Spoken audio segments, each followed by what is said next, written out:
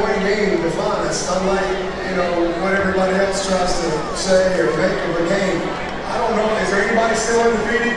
Uh, I mean, when, when we lost a game, we learned from it, we got better, we went back to work, and that's what it's all about. It's not about winning and losing, it's how you respond. This team just continued to believe, and uh, they were focused. This is, I've enjoyed this team and this journey as much as any team that I've ever around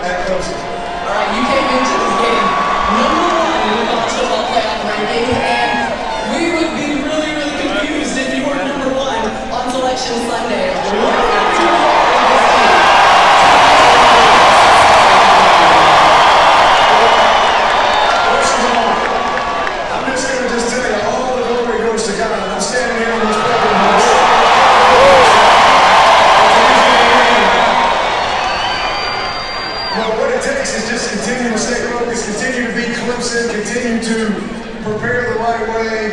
And uh, we knew we were going to have a great It's been 25 years since I've been to the Sugar Bowl, and we played Miami in 1992, so I don't know